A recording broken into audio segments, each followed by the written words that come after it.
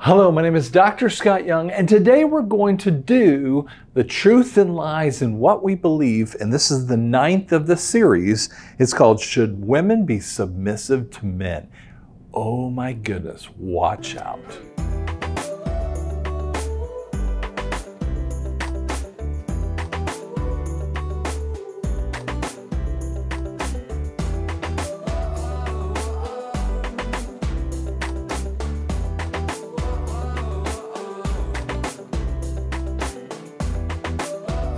Okay, so you look at this, and most most guys don't want to touch this with a 10 foot pole. I get it. But I want to share with you a couple ideas that you might want to just think about when it comes to this. Because this this terminology is very difficult. And, and men have struggled with this, and women have too. They, they've both sides have rebelled in different ways. And some sides, you know, the men who, like the Mormons, who we'll get into a little bit, you know, they love to embrace this kind of thing because they because they think it's their right. But you're missing the equation. Okay, so let's talk a little bit about this as we go along here.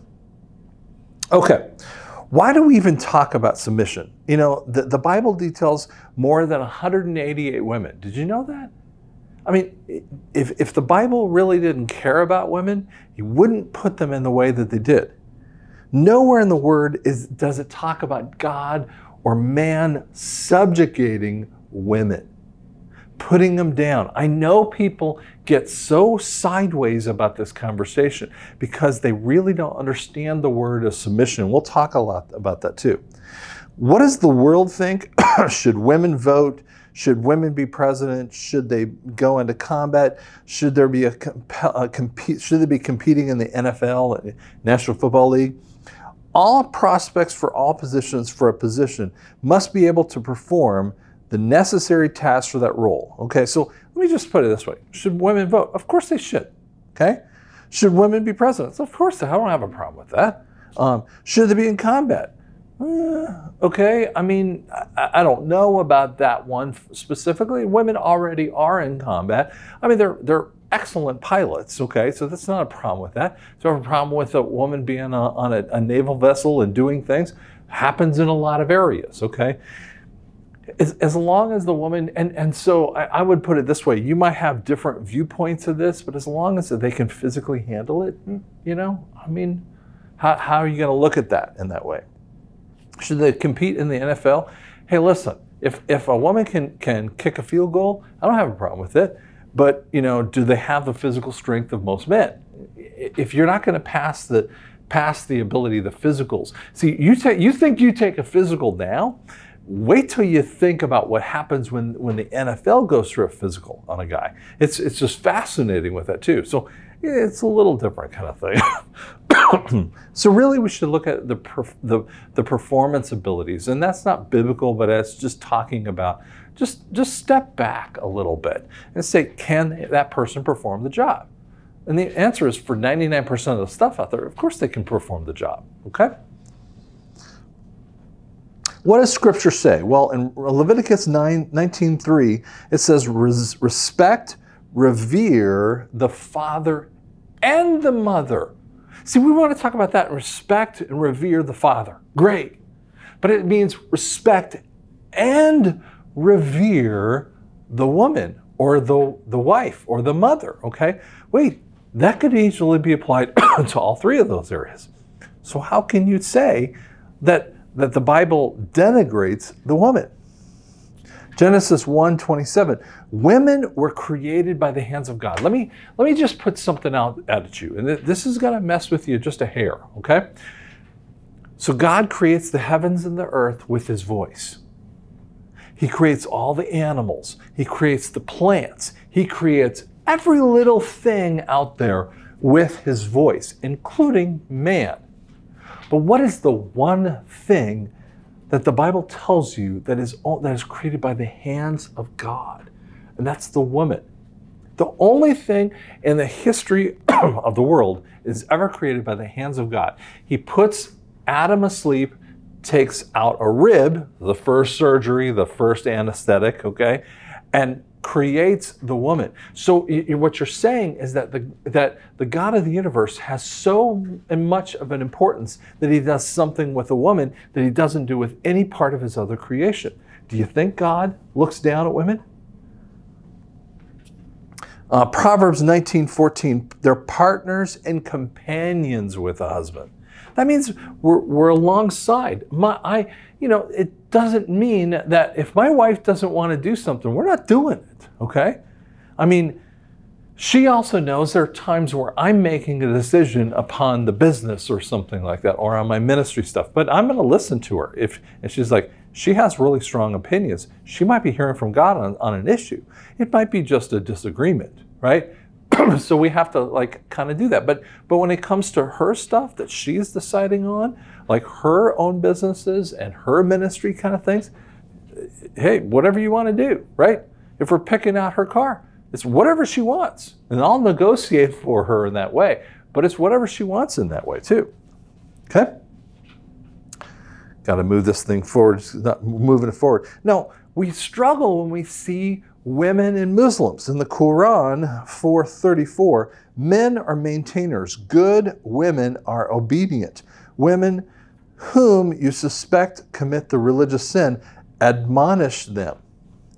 In the, the Muslim culture, they're not educated, they're limited in jobs, they only receive half of the inheritance and can be given in marriage at nine, but they can't have sex until puberty. I mean, hey, listen, you know, I find it fascinating in the world that women talk about, you know, um, you know, the sexism, and, and, and yet we never want to talk about sexism in the Muslim communities. We never want to do this with women wearing burqas and all this other stuff, and you're going, mm, it sounds like a double standard, doesn't it? You know, these other cultures, I mean, they, they treat women horribly. And, and why don't we ever, as a woke culture, get on that conversation? I mean, but we have to like beat up Christians about it. Like, wait a second, we didn't ever ask women to do that. And, and most good, good Christian men would never go in that kind of well. Kind of move this little thing forward. Okay, women in Mormonism. It's the destiny of a woman to be eternally pregnant. I mean, she's always pregnant it gives rise to the idea of you know barefoot and pregnant okay i mean it's it's what they do it's what they they kind of see forward if the husband is displeased with with her he doesn't have to call her secret name out of the grave. Do you know that when they they get baptized in that religion it is a religion and it is a cult religion that i'm going to put it out there. It's not christian. And what happens out there is that she gets a new name that only he knows. And she is subjugated underneath him that if, if he's, not, he's not pleased with her, he doesn't have to call her from the grave, which means she's stuck in the grave throughout their, their, their ideology. It's just sickness, okay? And that was created by, you know, really gross people with that. Um, they're subjected to polygamy, which is you know, multiple partners. And, and, and people talk about, you know, Utah doesn't have it and other places that are very strongly Mormon don't have it. Man, you haven't been to Utah. You haven't been to some of these places where, you know, you'll see a table and there's, there's a whole bunch of women, you know, they're all wearing dresses and it, you can definitely kind of see the Mormonism kind of going in with a whole bunch of kids. And there's a guy over here and he might have one of the kids with them, but you can, they're tied together. You can see it, the interaction. He'll interact at the table, he'll speak a prayer over them, and you kind of going, yeah, I see it. It, it. is what it is with that. Now, there are some interesting biblical statements in Timothy, 1 Timothy 2 8 through 15. And Timothy, we have a Timothy misinterpretation with it too. The problem isn't that we, the problem is that we're, we're not inside the conversation. So I'm going to kind of push over to that here. So I'm going to pull this off here, pull it over to, uh, to 1 Timothy. Sorry, it's going to take me a second here because I can't do it with uh, different ways here. 1 Timothy 2, 8. So, therefore, I want the man in every place to pray, lifting up holy hands without anger or argument And the women are also are to dress themselves in modest clothing with decency and good taste or good sense, um, not to elaborate or you know elaborate or basically decorate the hair, gold, pearls, you know, expensive apparel, but with good works as proper for women to affirm that they are worship God. A woman should learn in silence with full submission. I do not allow a woman to teach or have authority over man. She is to be silent. And it goes on from there. But she is still, she will be saved through childbearing, bearing, if she continues in the faith, love, and holiness with good judgment. And so people get, oh man, they get sideways about this. I mean, super, super sideways. But you have to understand what Paul was really talking about. So when we look at this, I'm going to pull on one of my notes here. Come on, baby. Pull up there. It says to learn is to gain knowledge because the time of the women had no education. Wait a second. In that time frame, okay, and, and around that, that turn of when, when Paul is talking about it, so he might be talking around it in 40 to 60 AD, probably more like about 60 AD. And women never had any education. So he was talking about he was talking about the response of the person. They were silent because here's what would happen. Now she might be because she might be behind this lattice barrier, and she's asking her husband, "Hey, what did he say? Why did he say it that way?" And what he was saying is that it was getting out of hand. Okay, the men could actually whisper to one another, but the woman couldn't do that. And so, since she didn't have anyone there, she had no education because of the, the lack of education prospects in that culture. That's kind of where that comes from. Um, I do not allow a person to teach. this is a fascinating thing because in, Ephesus, uh, they were coming from the church. There was an immodest dressing uh, preaching that was happening. So, so there was an issue, and I'm going to flip over to my little notes here so you guys can see it along with me. Okay. Now, we know men are very visual, okay? I'm not saying women never are visual, but but men, when they look at women, are very visual. They're affected and and inside of that issue for visual points. Okay, so here's one, one of the things that, that when it says modest dressed, um, it, it, and it's using a point of braiding hair. You'll see in other parts in Corinthians, you'll see in Ephesus, you'll see in different areas that they'll talk about uh, different points. And, and, and we say, so a person can't braid her hair or she can't wear gold. But what that meant in that societal point is that was a prostitute. So, in essence, he was using an analogy to explain what all of the people around knew it as. Okay?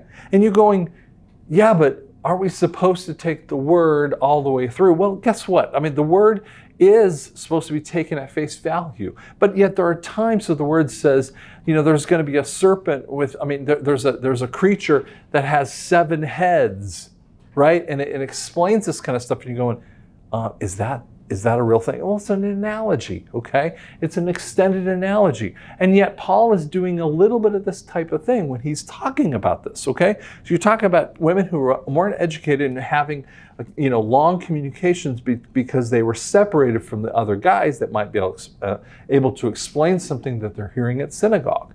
It was the problem, okay? And so he was talking about just, hey, this isn't working here, okay? And then when we think about the visual nature, okay, how, what are you doing? And I always look at, at young women when I, when I, when my wife and I will counsel young women and men, and we're in the middle of one right now that, uh, you know, you know, their fiance kind of thing, and, and, you know, just they have to get that women have to get it's it, they're they're coming off visually. I mean, how are they dressing? Okay, is it suggestive in that way? And I'm not saying, I'm not trying to put the blame on the women, woman here, but do you really want to lead other people in sin? And yet there's other things where, you know, women will dress pretty normally and the guy is is interactive in that way and, and, and it's kind of gross. Well, that, you know, then we have to kind of step back here and say, hey, she didn't do anything to bring that on, but it happens to her all the time. She's a very beautiful woman kind of thing. And that's the struggle that comes out. But again, just think about it in modesty. Just, again, be calm. Don't get all upset about this. Let's talk a little about the, the woman being silent. Quietness actually was life one does at work and doesn't meddle in others people's work. When you understand the word quietness was actually something very different than you think of. What we're saying is like, go about your business. Okay? And it leans into very easily into the point of gossip. Command to listen and learn.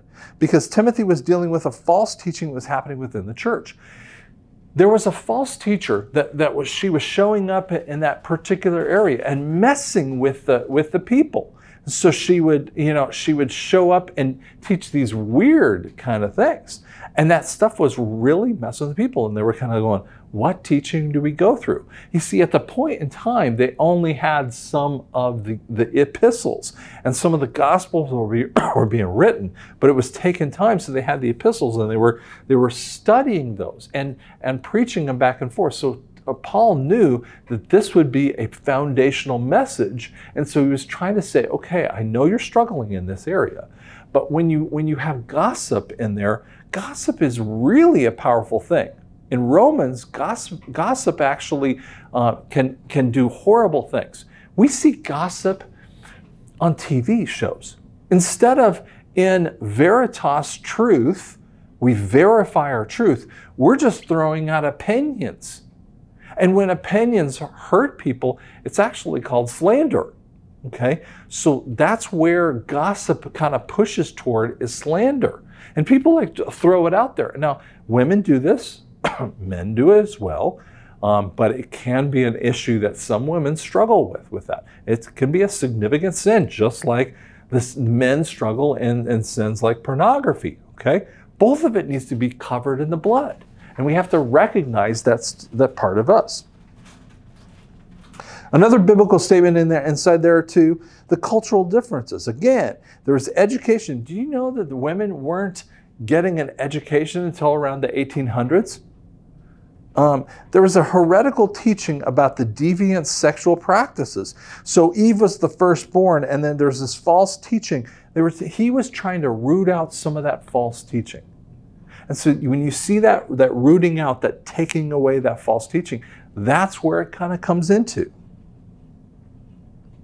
Our next slide here, in 1 Timothy 3.11, it talks about the woman have it worthy of respect and honor, no slandering, self-controlled. And as stated of men is actually the same thing that we talked about in Romans 1 and 2. So when you when a woman is, is worthy of respect and honor, it's saying, wait a second, how many other ones talk about that that way? To put women in that kind of, that kind of facet. I don't know of a lot of them, but that's exactly what it's dealing with here.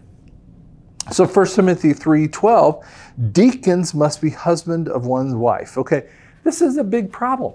I mean, we see this in the church all the time that, you know, we see people who have, um, you know, who've had a divorce issue. And then we, the church, are making this kind of big point that, that you know, they can't be deacons in the, in the church. And I'm like, why? I mean, why is that? Well, it's, so it's only it's only good if, if she died and then you could get remarried.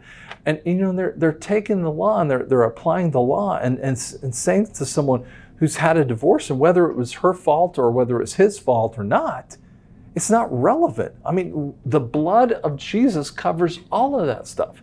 And that's just the sickness that we've struggled with in, in, our, in our culture. In Titus 2, 4, and 5, we need to have women who are mentors to young women. My wife is, we're older now, okay, and, and uh, we're pushing into those, those later years, and, and yet she becomes a mentor to young women. That's really important. And in 1 Peter 3 1, it's talking about witnesses to husbands. Do you know that your wife is supposed to be a witness to you? She's supposed to like be a side of this, and she can find areas where she needs to really heavy, heavily support you, and other times she needs to be in a private of, of the situation go, hey, dude, you are wrong. I can't tell you how many times that's happened. And sometimes it ticks me off, And other times I'm like, instantaneously go, it's right. Other times, you know, we have to have a disagreement. It doesn't mean she's always right about everything, but sometimes we have to go through those areas, right? And you're going to find that as well in your, in your life. So there's a balance of men and women. So if you see up on the top hand, the right hand portion right there, you're going to see submission and agape kind of points. So let me kind of just put it this way. So if we're seeing, this is like this pendulum, okay? So that it can go up and down, right? Up and down. So when we have, for instance, on this side, you have the women, okay, and the men. And then on the top section, we're bringing out this point of submission versus agape. Okay, so it says that the man must love the woman as Christ loves the church. This is in Ephesians, okay, 5. And so it's saying, wait a second, and it's and, and it's 522 to 33. Husbands are the head and neck of the wife. So he's saying, okay, well, this is the this is the leadership point. But let me let me ask you this. If women, if you understood what agape love means, it is a full on and actually it's even a stronger point than just a full on love. It is completely selfless. So if you have a completely selfish, selfless love, that's a hard one to say three times in a row, but if you had a completely selfless love for your wife and you, you put her first in every little situation, how do you think she would actually respond to you? She doesn't need to submit because, you know, he deserves it but she's doing this kind of thing, and submission is this is gets really kind of funky here. Okay. Submit is not like bended knee and bowed head and all this kind of crazy stuff, okay? What this really is, is a point of respect.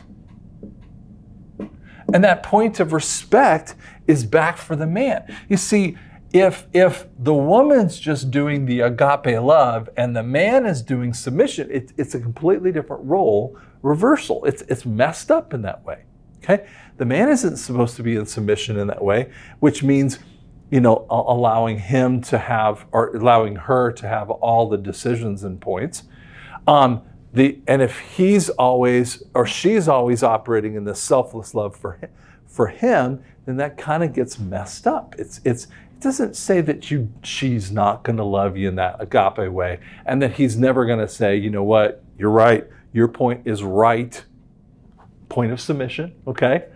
Uh, doesn't mean it never happens. It just means that on a consistent basis if the man will agape love her and be selfless for her and put her first in everything most women i know would love to have that submission to a man who's got that selfless love. And see, by the way, we, here's the point of this whole thing, and you kind of miss this if you don't understand. You see, Paul tells you this big story, okay? in Ephesians uh, 22 to 33. He tells you this cool story. And you know that I've talked to lots and lots of people where they, you know, that they, they have been a pastor and they've, they've uh, taught this to young married couples or you know uh, or they're getting married and then they're going to do the wedding kind of thing and they they teach us or even say this at the wedding. But paul goes hey listen i'm not just telling you about men and women how they should interact. What he's saying is that men this is like the groom or it equals jesus. So the men are like jesus in this way no, you oh, you just uh, elevated men to God. No, he was giving an extended analogy because what he's also saying over here is the bride is the church. Oh, here's where we're getting kind of interesting. Okay, because you want see people want to stop over here on this part and say men are like Jesus. Okay, yes, in the in the wedding relationship, but you know what? All of us in the church are the bride. So we need to have submission to Jesus with that, while he has that full on um, agape love to us. And when we have that kind of relationship, we start finding wait a second, this really works. And it keeps marriages together. So, summarize this kind of thing, men have taken it out, um, taken advantage of this meaning with submission throughout the ages because they never put the agape love in there. They're like, you must submit to me kind of stuff. And this is sick. Okay, because this is never meant to be a one-sided thing. Because if it's out of balance, that there's more submission here and you know, or less submission here and more agape, or more submission, not very much agape thing. Hey man, that's where we've been we've been living on. When we've seen this little this little thing tilt this way toward the men, you know, th- this is this is a type of slavery. Okay? But let me throw this one out at, at you. But when we see this tilted this direction, where the, the man is, is pulling up the love, here's what happens on the, this is the man here, okay? And the woman, and this is really talking about that intimate relationship where she has, you know, no, you know, respect in essence for this this situation. He's doing all the loving and she's got no respect. Well, guess what that is?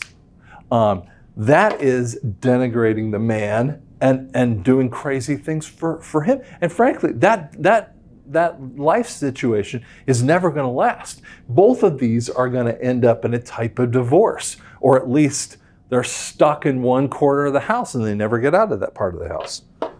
Both people need to understand where they equally move throughout this. and this is something that in 29 years of marriage, we've been spending this time working this little process all the way through. Am I doing this right? I ask this question all the time. Am she am, and is this the kind of thing that you need? Okay. And so Wendy will give me a lot of, you know, feedback on this point saying, you know, she'll say some things to help me.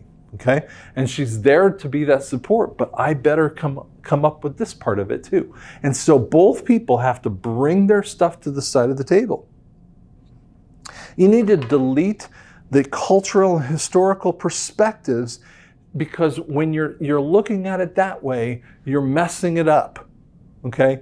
You, you got to pull back and understand this is this was an extended analogy of talking about a particular time. Okay? Let me let me end it with this one. So as I as you might have heard in, in other lectures that we did earlier in this topic, um, especially on the death and resurrection of Christ, I talked to you about uh, The Man Who Died by D.H. Lawrence. Now, it was written about 1910 ish kind of time frame. And in there, um, you know, it's Jesus really doesn't die in the tomb. He comes out of a coma, pushes away, talks to Mary. Mary goes, How can I help you? He says basically this He says, You know, I've deceived too many people over the last three and a half years. I'm going to do something different.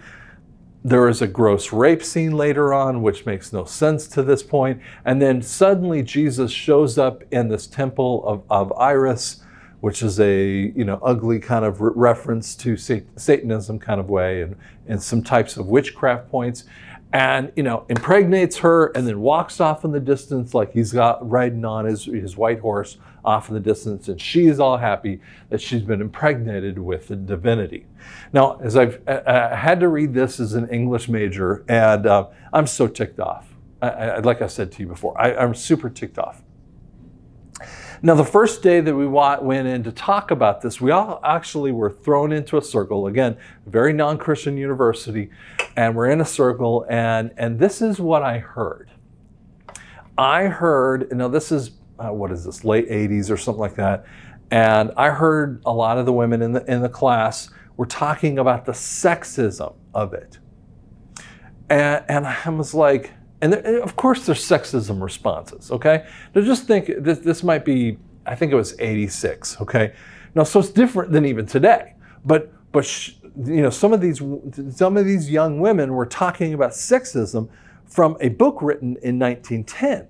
And I'm looking at going, of course it's sexist because if you look at the cultural differences of how D.H. Lawrence would have written about women, he would not have put them in the 1986 viewpoint. Wouldn't put him in 2021 viewpoint either because he didn't have that kind of perspective on life. What are you doing?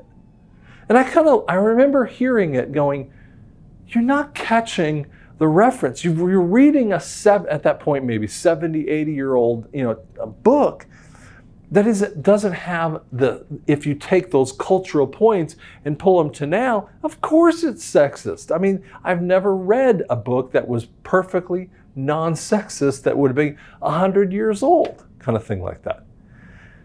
And I was like, what are you doing? And yet we're doing the same thing, unfortunately, with the Word of God. When we look at it, we, we see the sexism in there, but we don't understand the cultural underneaths to this.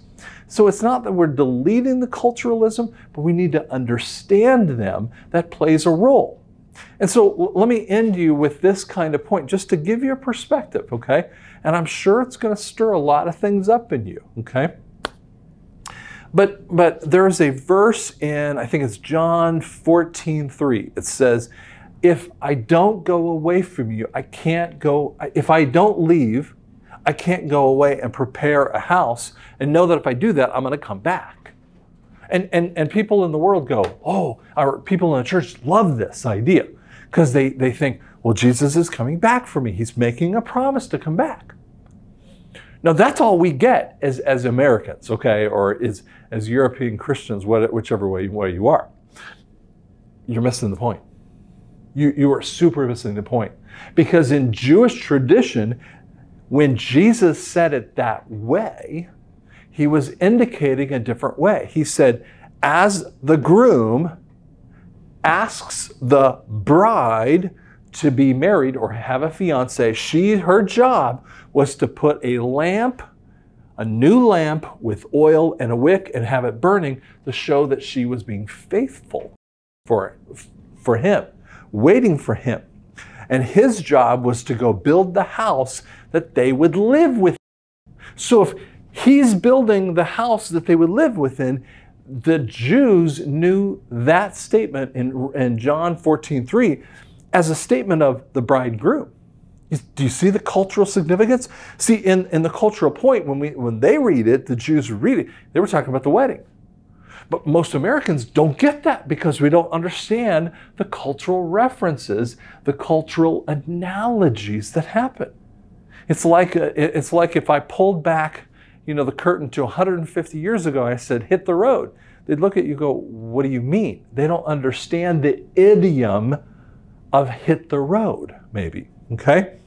Um, just like I remember when I first read Don't Tread on Me, I didn't really understand what that meant. And yet, when you uh, research history, especially right around the Revolutionary War timeframe, what they were talking about is that, that the, the, uh, the English were treading upon the rights of the people and they were felt smashed upon. Okay? And so it, it had a reference and it was actually a rally cry that comes. So you see, we're missing those cultural references, and that's what you need to do when you apply the Word of God to you. So that's why we're talking about this incredibly hard concept. Now, some of you are going to look at this and go, you know what? You're an idiot. I don't want to listen to you because you're a guy. How can you understand what this is? And we say this about, you know, white versus black, and we say this about Indian versus Amer- you know, uh, a, a non-Native American kind of thing. We do, we do all this kind of crazy stuff, and I'm like, just calm down a hair. Just calm down a hair and look at what the Bible says. It's talking to all of us, but how do we understand it? How do we put it in perspective so that we know how to apply it correctly? So if you like what we're talking about, I mean, I know you're going to leave some comments on this one, get a little mad about it. But guess what? Come with the heart of God, come inside of that agape love, and see where you might have misunderstood, misunderstood it. And promise you, I don't have everything down. If I did, I'd be gone, okay? So I work on this thing every single day with my wife and with other women and other people around me, okay? So I hope this helps you in that way. So thank you so much. I appreciate it.